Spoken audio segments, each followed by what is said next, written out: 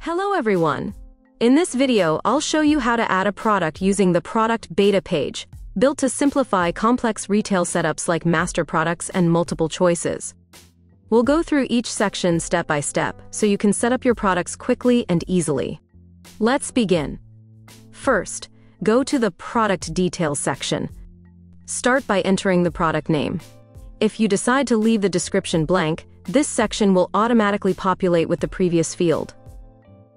You can also decide if you want to hide the product from the till view by toggling Sell on Till, which is handy if you're setting up a master product. Then, pick a category from the dropdown, or create a new one if you need to. You can do the same thing for brand and supplier. If you have more than one supplier, you can add additional suppliers too. Next, enter a barcode or click Auto Generate to create one. You can also add a product order code and an article code if you have them. And finally, if you don't want this product to earn loyalty points when it's sold, just tick the Prevent Loyalty Points box. Collapse the product details section and we'll move on to pricing. Here you'll add your cost price, that's before tax, select the tax rate, then add the sale price with tax included. If you want to set the price at the time of sale, instead of setting it now, just tick Variable Price. You can also mark the product as tax exempt if no tax applies, and if there's a container fee, you can add that here too. Now let's look at customer-specific pricing. If you offer different pricing for different customers, just choose a customer type from the dropdown and set their specific price. It's as simple as that. Next up is multiple choice products. If the product has different options, like sizes or flavors, you can attach a multiple choice group here. And if you want the pop-up to appear at the bottom of the screen instead of full screen, just tick Optional Pop-up.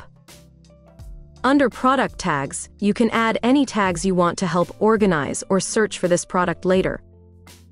Then we move on to Till Options. Here, you can set the till order. This system works numerically, starting from left to right as shown on screen.